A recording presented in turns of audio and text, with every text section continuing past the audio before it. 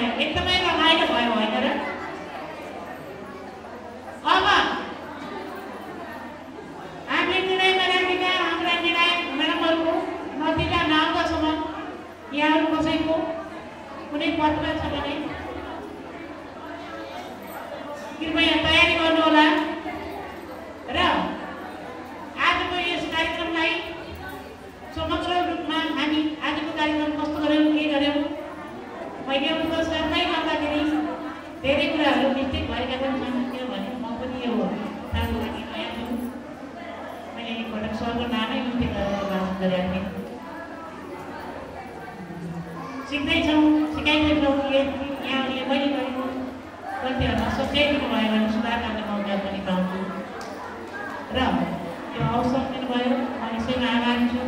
अब समग्र रूपमा यस कार्यक्रमको सुझावसहित धन्यवाद पनि ज्ञापन गरिदिनुहुन यस एनजी माध्यमका सञ्चालक अगाडि छ नारायण भण्डारी उहाँहरूले गर्नु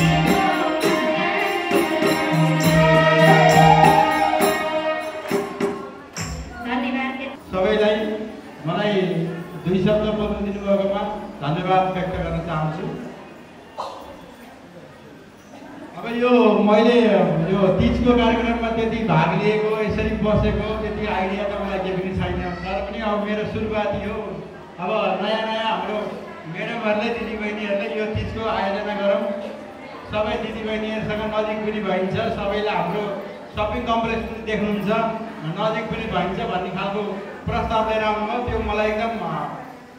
ठिक लाग्यो र मैले चाहिँ त्यसलाई अगाडि बढाउनु ठिक छ भनेर म यो कार्यक्रममा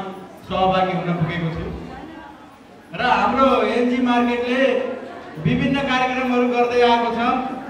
हाम्रो टोल विकास संस्था आमा समूह वडा कार्यालय नगरपालिकाहरूलाई सबैले जोडेर हामी एनजी मार्केटसँग सँगसँगै हिँड्ने भन्ने हाम्रो प्रोग्रामहरू पनि अगाडि बढिरहेको छ त्यही सन्दर्भमा यो कार्यक्रम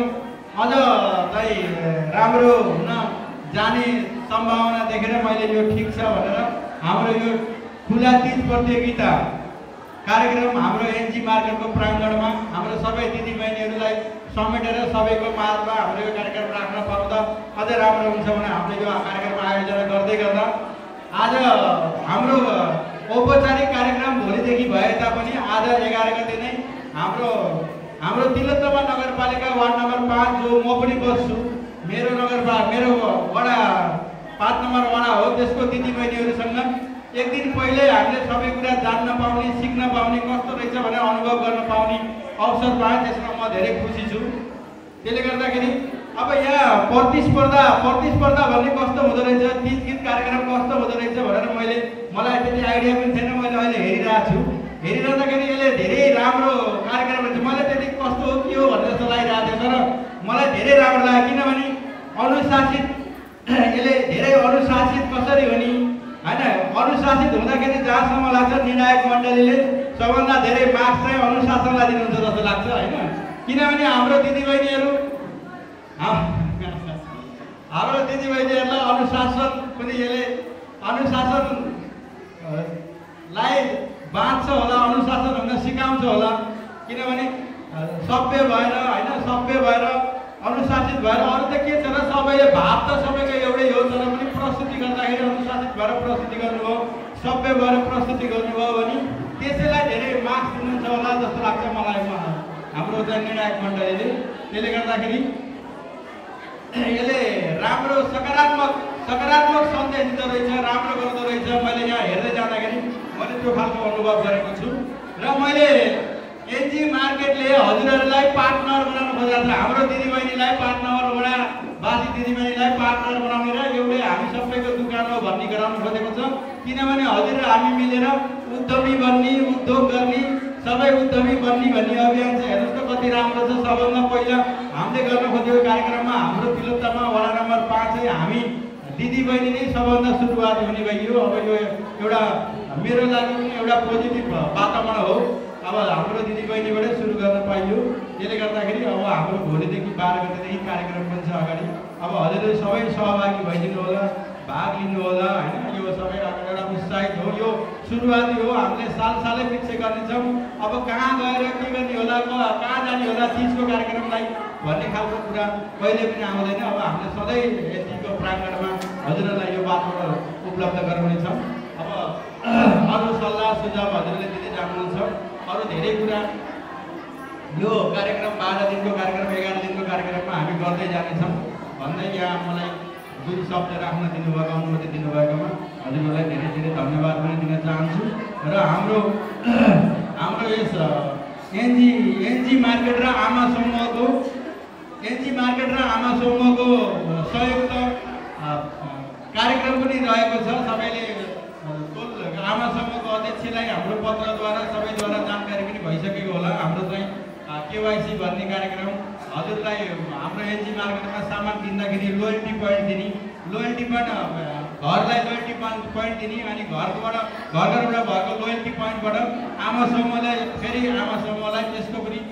छुट्टै खालको पच्चिस पर्सेन्ट लोयल्टी पोइन्ट त्यसमा पनि थप गरेर हामीले दिने भन्ने कार्यक्रम छ त्यसले गर्दा पनि हजुरहरूले यसलाई राम्रोसँग बुझ्न जरुरी छ नबुझे अन्तर्क्रिया हाम्रो विभिन्न अन्तर्क्रिया कार्यक्रम हुन्छ हजुरले बुझ्न सोध्नुहुन्छ अब हामी यही छौँ हजुरले बुझ्न बुझ्न सक्नु भएको छैन भने बुझ्न सक्नुहुन्छ भन्दै मैले यो दुई शब्द यही गर्न चाहन्छु धन्यवाद